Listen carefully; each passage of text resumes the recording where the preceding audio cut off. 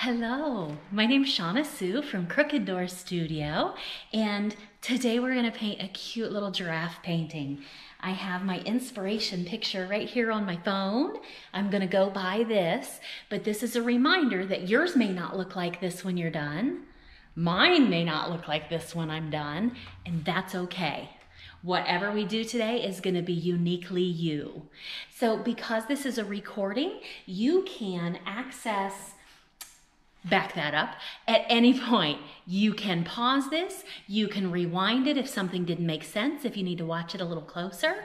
So just keep that in mind as you as you work through this today okay? So you may feel like i'm moving a little fast. That's okay. Get through one step and pause it Okay, and then hit play when you're ready again. So first thing I like to do is uh, make sure I have all my supplies and everything in order before I start painting so I don't have to run back and forth and find stuff in the middle. So the first thing, you wanna make sure you have either an apron on or an old paint shirt. The paint that we're using is acrylic paint. It's water-based, water-soluble, but if you get it on your clothes and it dries, it's a real bear to get out. So if you don't have a paint shirt, you might take your shirt that you have on and flip it inside out because it's always better to get mess on the inside rather than the outside of a nice shirt. Um, for grown-ups that are watching this, Murphy's Oil Soap later. It's your friend to get paint out. Okay, so I have my apron, I have my paint shirt, I've checked my surroundings. I've made sure that I don't have anything around that I'm super concerned about getting paint on that I, I would be upset about later. So I've checked, everything's good. I'm in a studio, so I'm pretty safe. But if you're in a home, if you're at someone's house, take a look around, okay? Be careful. So apron, paint shirt, I've checked my surroundings. I have my inspiration picture here. We'll talk about that in a minute.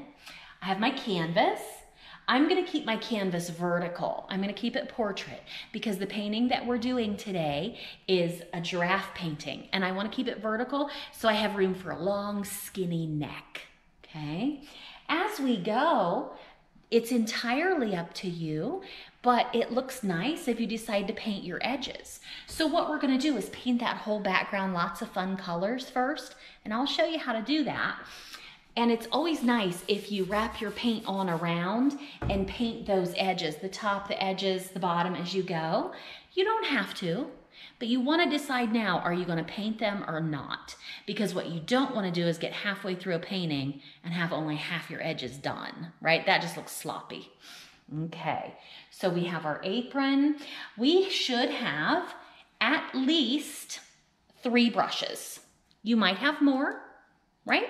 But the three main brushes you're gonna need, and everybody has different brushes in their kit, but the three that you're gonna need, you're gonna need your biggest brush. Everybody should have some kind of a big brush. You're gonna need some kind of a medium brush, right? He's skinny this way, but he's flat this way. And some kind of a pointy brush.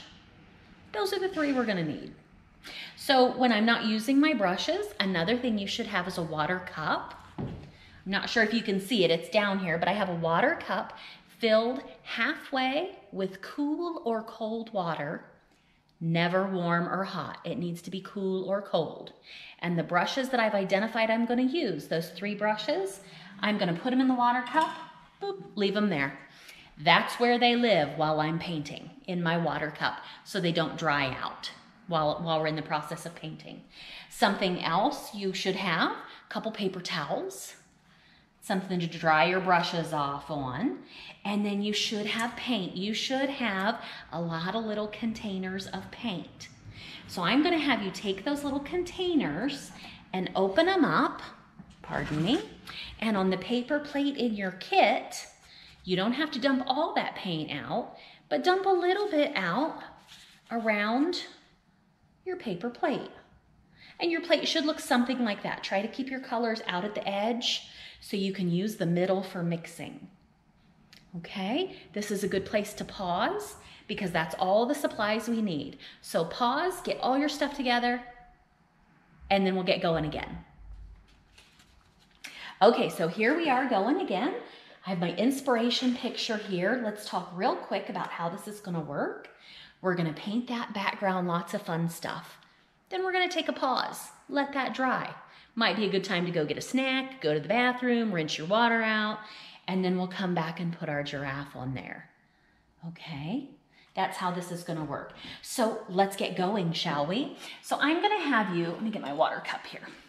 I'm gonna have you in your water cup find your biggest brush, that biggest, fattest brush you put in your water cup.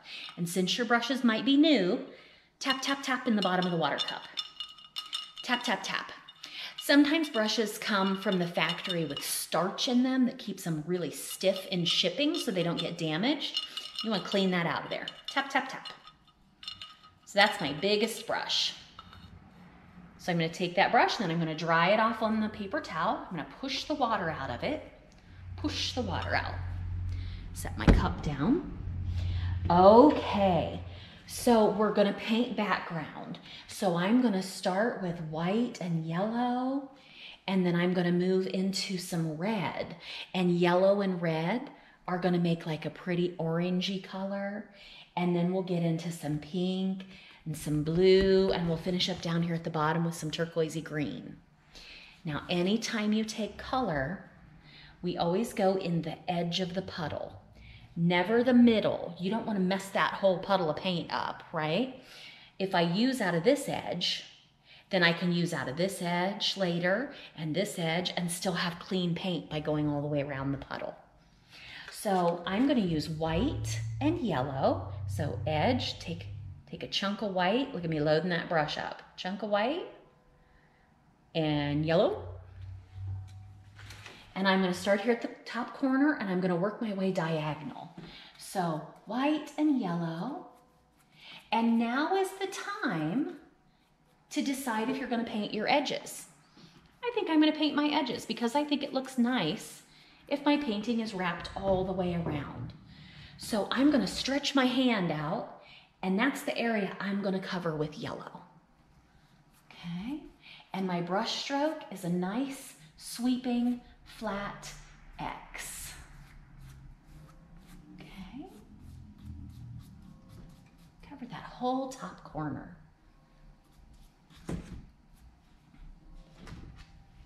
Remember, if I'm going too fast, you pause.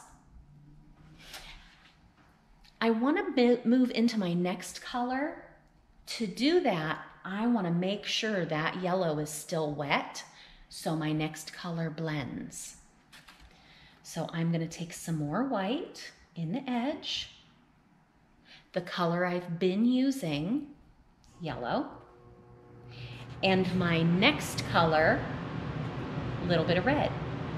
Just a little bit to start with. And to blend, I'm gonna start in that yellow and then work my way down. Oh, that's a lot of red but I'm gonna blend it into that yellow that's wet. Oh, look at that, that's pretty. And you see, as I go up, I lose yellow. I, or I should say, I lose that bright red because it blends into that yellow. Isn't that fun?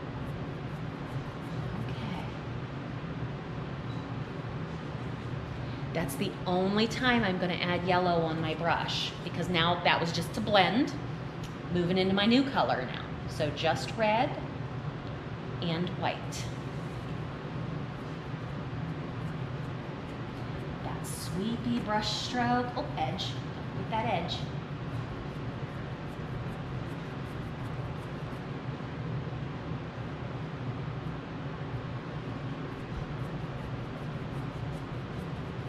Oh, that's pretty. Oh, those colors are gorgeous. Remember, they will only blend when your paint is wet. Once your paint is dry, it will not blend any longer, okay? Acrylic paint, when it dries, it kind of turns to plastic. So I wanna be about halfway down on this side because I'm going diagonal, about halfway and it should be pretty darn pink. So I might do, I might do one more little stripe there. but it should be pretty pink by the time I, I get down there. Oh, there we go. That's pink. Oh, edges. Don't forget, if you have decided to paint your edges, it's easier to do them now than it is to try to go back and match them up later. Okay. So now, once you've got your edges and you're halfway down on the left, you might want to go ahead and hit pause. Make sure everybody gets to that spot we're gonna rinse our brush out. So hit pause, get everybody halfway down on the left, and then we'll pick back up. Okay, so you're back. Everybody's halfway down on the left. We're gonna move on. I'm gonna take this brush and rinse it out because I wanna move on to purple. I don't have purple on my plate, I'm gonna mix red and blue and clean white, and that's gonna give me purple. I need to rinse my brush out because I still have yellow from the beginning in my brush. And if I don't rinse that yellow out, purple and yellow, opposites on the color wheel, if I mix them together while they're wet, I'll get poop. I don't want poop. So I'm gonna reach for my water cup here. I'm gonna tap, tap, tap that brush in the bottom of the cup before I move on. Tap, tap, tap, knock that paint out of there. This is not real aggressive, it's just very gentle, right? And then dry it off on paper towel. Should come out pretty clean. And now I'm gonna move on. So I'm going to take the color I had been using. That's how we get it to blend. Just a little bit though.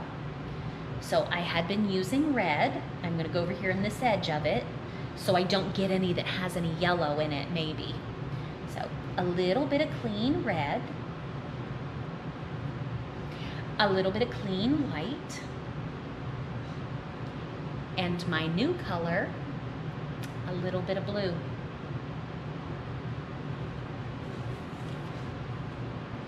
And I'm gonna start there in that edge. Oh, that's pretty.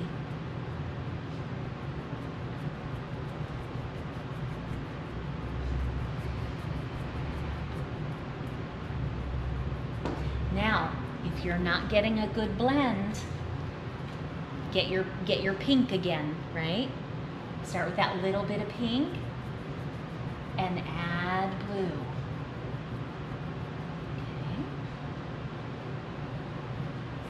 But once I've taken that one swipe across there, not gonna grab pink anymore. I'm just gonna grab blue. That red was just, that pink was just to get a purpley blend color. So I'm moving on to blue and white. It's that same brush stroke. Those big fat X's. And Look, I'm using a lot of paint. A lot, a lot of paint. Don't be stingy with your paint. You can always pour out more.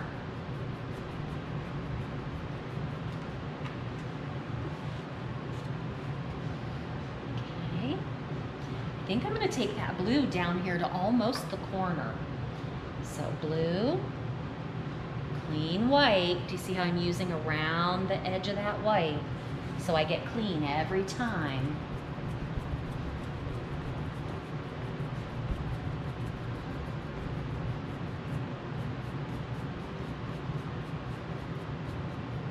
Getting my edges as I go, trying to remember.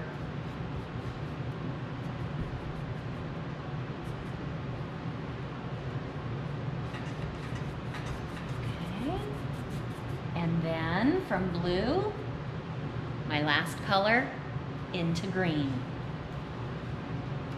So I'm gonna take a little blue, a little clean white, a little bit of green. That'll be the that'll be the last time I touch the blue. I just have to add a little bit to get it to blend. And you know what, if yours isn't blending the way you would like it to, I, I do have to say this is a this is something that takes it takes practice. It took me a long time to figure out how to blend. But once I figured it out, oh, I love blending. I would be happy just to leave this canvas the way it is with no, with nothing else on it. Once you figure it out, it's good stuff. Okay, not gonna touch the blue anymore because I wanna finish out with green. So green, clean white, and I'm gonna finish out. My edges.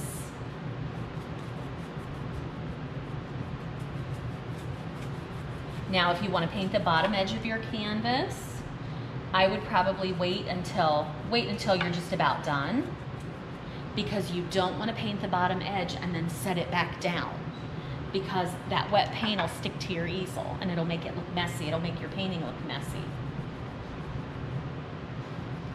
So I would probably wait until you're just about done, lay your canvas flat, and then take a little bit of that green and get that bottom edge. Make that the last thing you do. Okay, done. So check your edges, make sure you got everything. Um, don't worry about that bottom edge, you'll get that at the end. Pop your brush in your water cup, hit pause, it's time for a drying break. Okay, here we go, ready to move on. So my canvas is, is almost completely covered. The only thing I haven't painted yet is that bottom edge. I can do that at the end when I lay my, I can lay my canvas flat. Um, you may have gone and rinsed out your water to get clean water, clean your brushes out. We're gonna need some clean white for this next step. So if you have messed up your whole puddle of white, you might get your little container of white and pour out a little more in a clean spot. I've got enough clean white I think I can use right there in the middle. So let's put our giraffe on there, shall we? We're gonna do this in white to start with, just white. So I have my biggest brush. I'm gonna use plain white. And I'm gonna figure out where I want the head to go. I want the head to be up here and the head shape is kind of an upside down rounded triangle. The nose, the little snoot, is about right there in the middle of the canvas. I want to give myself enough room up here that I can put ears and it's, do giraffe have antlers or are they horns? So I can put his little, his little antler horns up there. I need to look that up. But I want room for those, okay? So I'm gonna start with my big brush, clean it out, dry it off, white paint, and leaving myself about at least four fingers, at least a hand width all the way around, and knowing that the snoot will be right here in the middle. So how about we start there? That's right about where that snoot's gonna be. I feel good about that. Little snoot. And what did we say? It's an upside downish triangle. And remember, everybody's gonna be a different shape. Hmm, I feel good with that. That's a good shape. And I'm gonna fill it in with just white. Okay, just filling it in. I want to give a nice bright base for that color to live upon, for the yellow, for the yellow giraffe color to live upon. So I have to put a nice white base on there first. Okay, that's pretty good. How about neck? Do neck here. It kind of start swoops in and then comes back out. I want a long, skinny, oh, that's a little skinny. That's kind of silly. Widen that out a little bit. I'm gonna fill that in. Okay. There we go. Fill that neck in. I wanted it tall and skinny and I, I made it a little too skinny, but that's okay. I can always fatten it up a little bit. Oh, I found a little, little wet green paint. Wipe that off.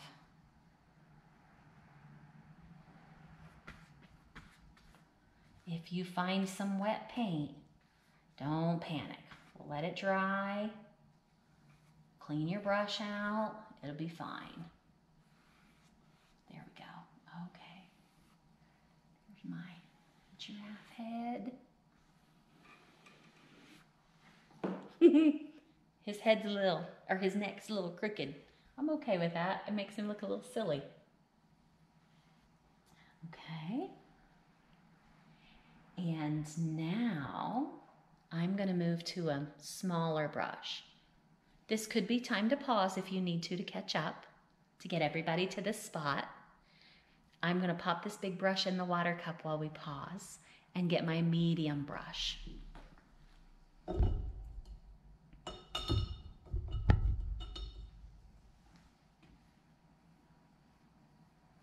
Okay, so now I have my one of my smaller brushes. It's my medium brush, not the pointy one, but the one that's, um, he's skinny one way, but he's fat the other way. And still with white, I'm gonna paint ears on there now. So what do my ears look like? Giraffe ears are big, right? So I'm gonna start, my ears are gonna be in this corner. They're gonna kind of point up and away. So I'm gonna do the top of the ear first. I'm gonna do a great big uh, frown. I almost said smile. A great big frown. Verp, almost like a rainbow. And then I'm gonna come down two-ish fingers, two finger widths, and I'm gonna do a smile and a frown. It's kind of like a backwards S.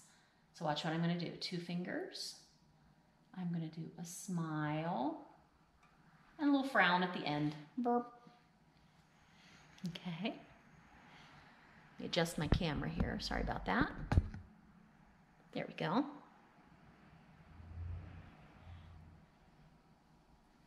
And I'm going to fill that in.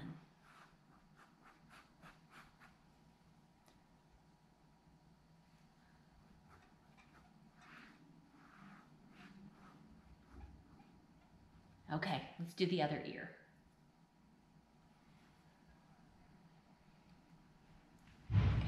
The other ear. So here at the corner, it's a great big frown. And then it's two fingers, smile, and a frown out at the end. And let's fill that in. Okay.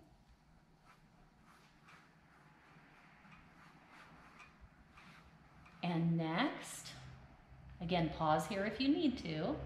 Next, antler horns. I probably should have looked that up before, before class, huh? Antler horns. They are about as wide as my thumb, maybe a little wider. Right here in between the, in between the ears. Not as tall as the ears. About like that. And then they have little nubbins on the end. Little poofy nubbins. And another one. That's silly. There we go. Okay, so this is a good time to pause. We have all that white on there. We're gonna let that dry. So pause. We'll come back and we'll start putting color on.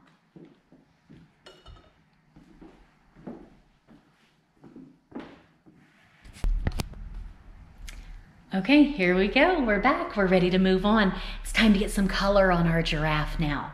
So I'm gonna use, I think I'm gonna start with yellow and then I can put the brown on top and then a little bit of pink. So with the yellow, I'm not gonna use just yellow. I'm gonna use yellow with some white. I think the yellow by itself is a little too much. So I'm going to use yellow with a about 50-50, about half yellow, half white. And I'm using my medium brush. So I'm going to take that medium brush and the first thing I'm going to do is I'm going to put a big swipe of that yellow right along top of the ears. Probably about as wide as my thumb. Going right over top of that white. Do the same thing over here. Perfect. And then yellow and white. I want to paint the bottom part of those antler horns. We're going to call them dilly boppers, I think. The bottom part of those dilly boppers.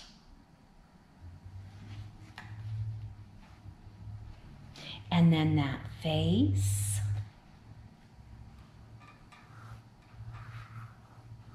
You see how I'm painting that face? Like a rainbow. Up and around with yellow and white. I'm gonna have to get some clean white, I think. I don't know, we'll see. We'll see if I can manage with what I have. So do you see I don't have any big boogers of paint? I've smoothed those out. Not leaving any big globs. So I'm going to take a little bit of yellow and white. And here's the bottom of my snoot. I'm going to draw with the yellow the top of my snoot. Because there's no point in painting that yellow if I'm just going to cover it with pink, right? Okay. So let's paint that head, except the snoot.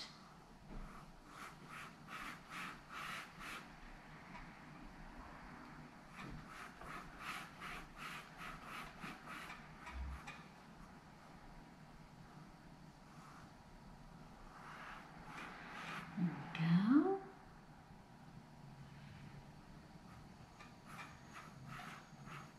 Again, back and forth like a rainbow, swooping back and forth.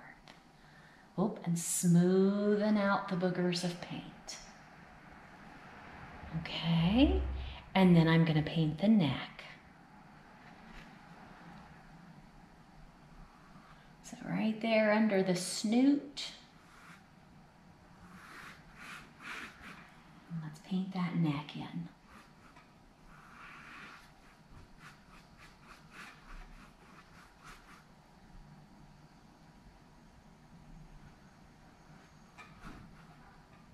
Remember, I'm not just using yellow. I'm using yellow and white. I'm mixing them together here. That yellow by itself is too see-through. It's too transparent. I have to add a little bit of white to it. Uh-oh, I got some green in my, in the neck. Okay, what do we do when that happens? We wipe our brush off. Rinse it out. I'm okay with that. Okay, this might be a pause time to let everybody get to this point. I'm gonna keep moving. So welcome back from the pause. I have my medium brush. I'm gonna clean it out. I'm Tap, tap, tapping in the water cup. Drying it off on my paper towel. And now I'm gonna use, pardon me while I get some more white. I just don't have enough. I'll be right back.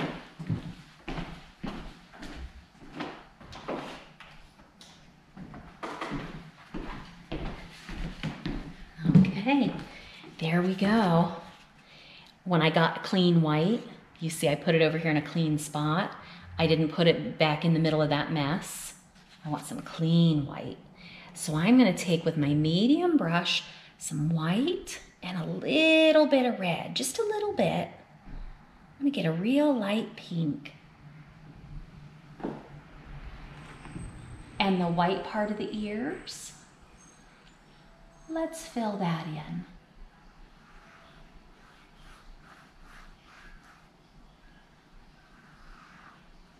Nice. Just like that. And the other one, just the white part of those ears.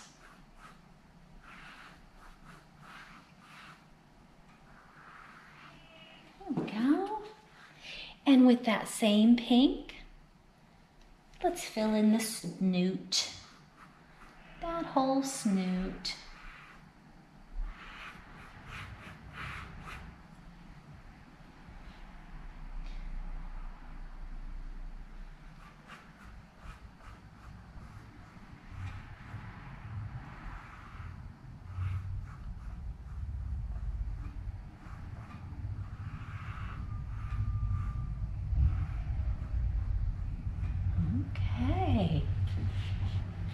There we go. And then I'm gonna do one more thing with pink and then I'm gonna be done with it. That brush that I've been using, I'm gonna add a little more red to it. I'm gonna make it just a little bit darker. Not super dark, just a little bit darker. And I'm gonna put nostrils. And my nostrils, they're not just circles, they're sideways ovals. So I'm gonna do a sideways oval here and a sideways oval here. Might go a little darker.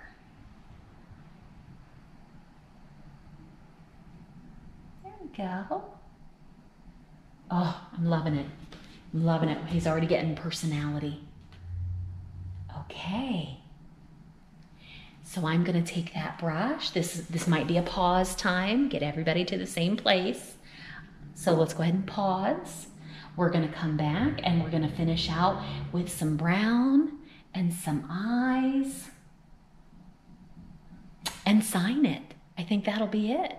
So I'm gonna take this brush and rinse it out.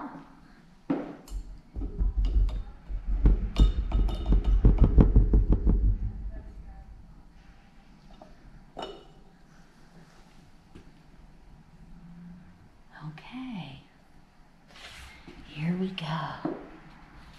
So now with brown, I have my medium brush with brown, and I'm gonna start by filling that, filling the top of that antler horn in, the dilly bopper. That little nubbin on top. Cute. With brown. Fill it in. Super cute. Okay, and now I'm gonna start putting patches. So let's see, what might my giraffe look like? I feel like he needs a patch right here. A little brown patch. Cute. I'm just using brown. Might have a little patch here in between the dilly boppers.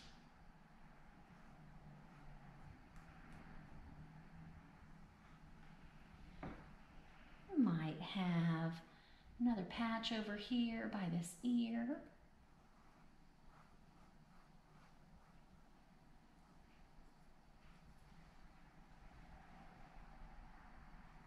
And then I'm going to move down to the neck. Let's see what this might look like. I think we'll have one here.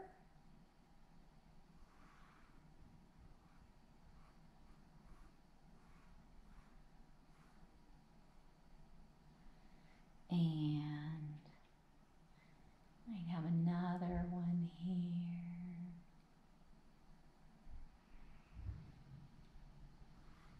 My yellow is still a little bit wet. I'm okay with that. It's kind of blending with that brown. I kind of like it. Okay. Let's see. I think I need a couple more. Do you see how I'm leaving little bits of yellow, little yellow lines there?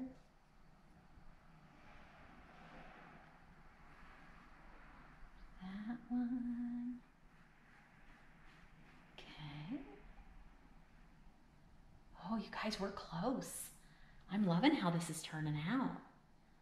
And let's do one more right there. Okay. Once I have my brown on there, my big brown blocks, you might pause. I'm done with this brush. I'm gonna move on to my pointy brush next. So this is a good time to pause.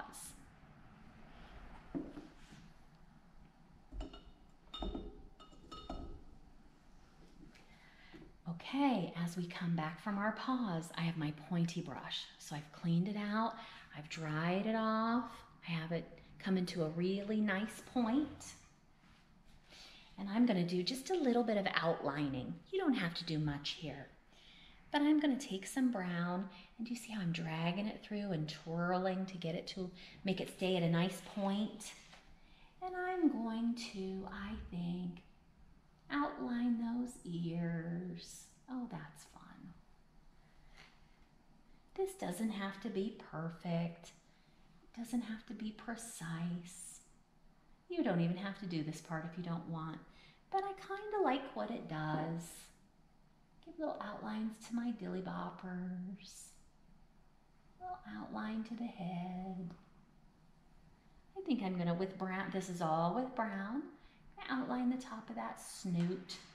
oh, snoot. I'm going to, oh, I did that ear. I need to do that ear, huh?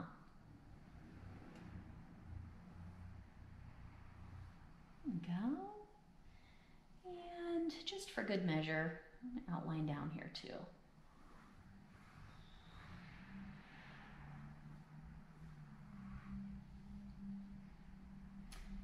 Okay. The last thing, well, not the very last thing, but one of the last things we need to do, we need to give him eyes. So I think I'm gonna take this brush. I've got some brown in it, but I think I'm gonna add just a little bit of black. So it's okay if there's brown in there. The black is more powerful, so the black will overtake the brown. And with my pointy brush, I'm gonna put eyes that are lower than the ears, right? So my, the bottom of my ears are there, so they need to be lower than that and they want to be kind of, my left eye is above my left nostril. So I'm going to do, and I like them set far apart. So there's one, and there's two. Oh, cute, cute, cute. And I'm going to wipe that brush off, rinse it out if you need to.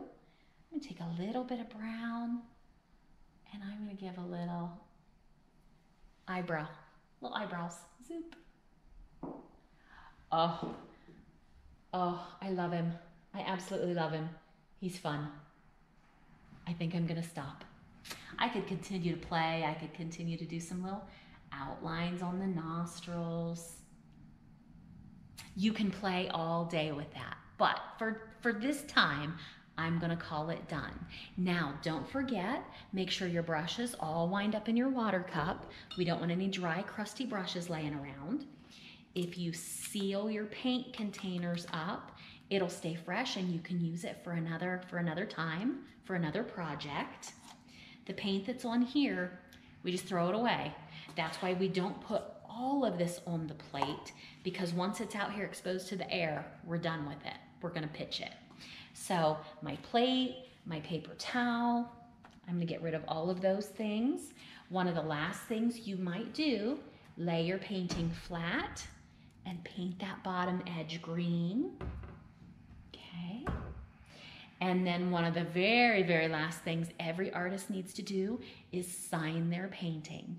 You can sign with your little brush, or if you have a Sharpie, you can sign with that. Artists usually sign small down in one of the bottom corners. That's usually where we sign our work. You can sign on the back if you want to with a Sharpie or a pen, but don't sign on the canvas, sign on the wood. If you sign on the canvas, it could bleed through. Okay, so I do believe that's it for the day. Thank you so much for joining me today. This has been a lot of fun. I hope you enjoyed yourself, and I hope I see you at another class soon. Thanks. Bye-bye.